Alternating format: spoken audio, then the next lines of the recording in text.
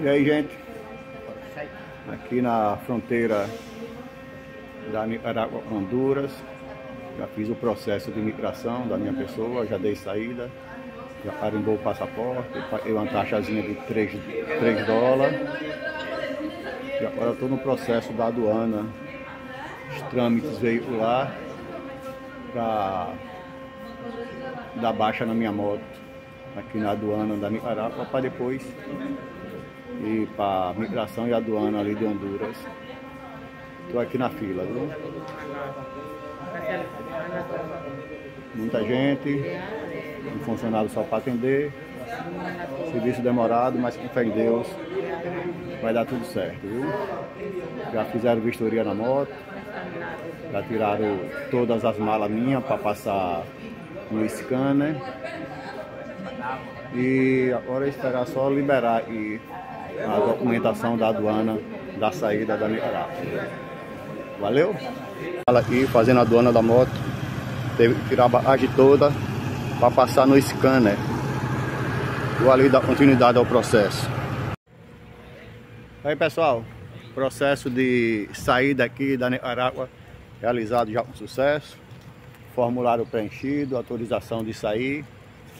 Então, beleza. Agora vou me encaminhar ali para a migração e a aduana da, de Honduras para poder dar entrada lá com fé em Deus. Valeu? Olá turma, estou aqui na migração de Honduras, me pediu o passaporte, eu dei, me pediu o certificado da febre amarela, eu dei, o meu certificado não serviu. Sabe por que não serviu?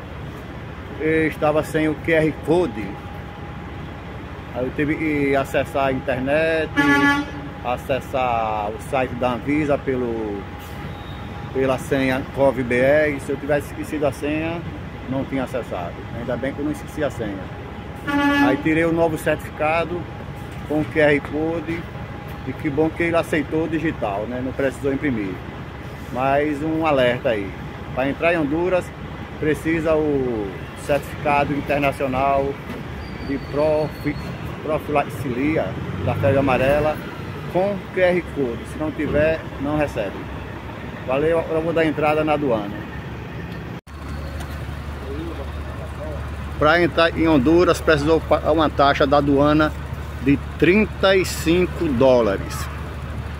Certo? Mais 3 dólares da migração. Então gastei 38 dólares aqui para entrada em Honduras. Eu Aí pessoal, acabei de fazer a aduana de entrada aqui em Honduras. Aqui foi o meu corretor, quem me ajudou aqui a fazer a migração e a aduana. Precisou tirou foto da moto, foto da placa, foto do chassi, né? E já está tudo certo. Já estou apto para entrar com o migratório e a moto também está apta para entrar aqui na em Honduras. Então lá, bem-vindo a Honduras. Valeu! Iu!